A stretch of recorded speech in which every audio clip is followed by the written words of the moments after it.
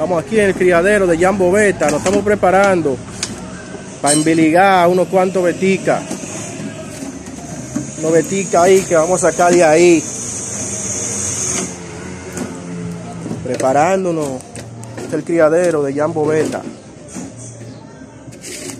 No se ve mucho por ahora, pero estamos preparándonos para llenarlo. Ponerlo nítido. Pero hay unos cuantos ejemplares.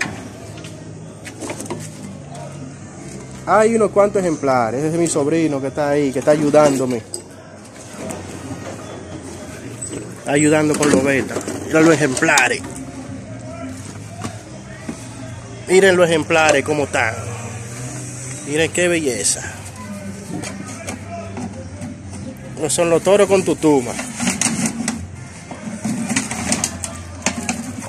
Los toros con tutuma. Tengo diferentes líneas. Diferentes líneas.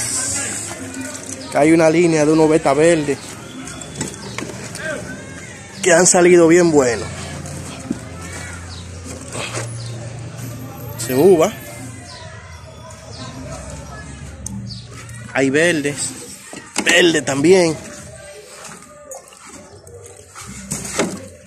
Mire que madrota. Una madrota bicola. Enseñarle lo verde. Ah, mira las bellezas aquí. Lo verde. Eso hay que hacerle 21 tanto. 21 tanto hay que hacerle a eso. Este es mi sobrino que está ahí, el que me ayuda con los beticas.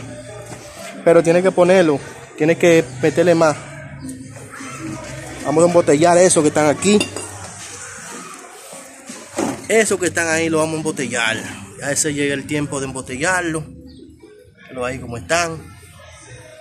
Lo vamos a embotellar.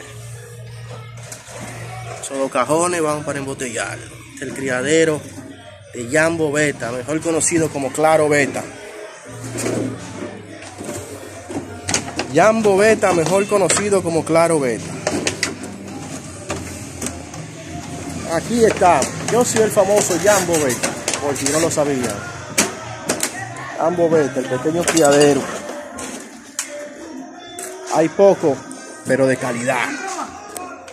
Ese es mi sobrino, el que me ayuda aquí.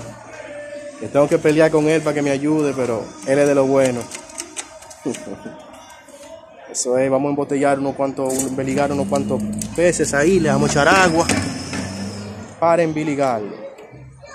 Embeligar esos pecaditos, unos pecaditos que están dando corriente. Sobre todo es bueno la organización. Cada división es una línea. El vetero que tiene todo junto y todo ligado es un vetero que no da pie con bola. Es un vetero loco, loco, loco. Ustedes saben, esto fue un pequeño videito del criadero. Jambo Beta. Adiós.